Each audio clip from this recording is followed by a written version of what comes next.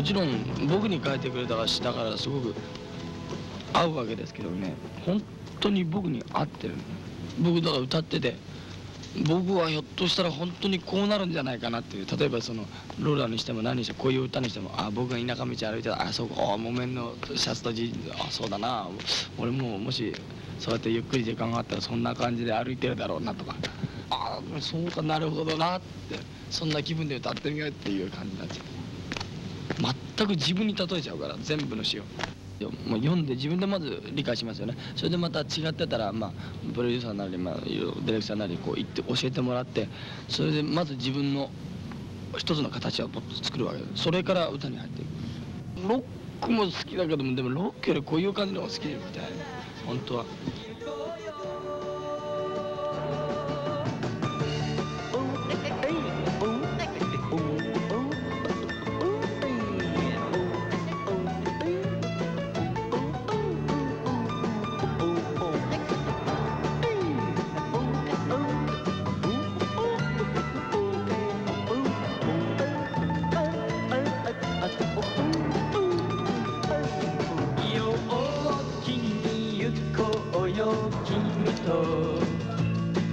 気取るのは柄じゃない。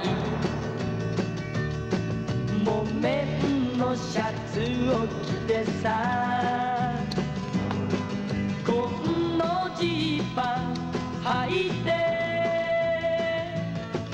陽気に行こうよ君と。すれ違う村人と。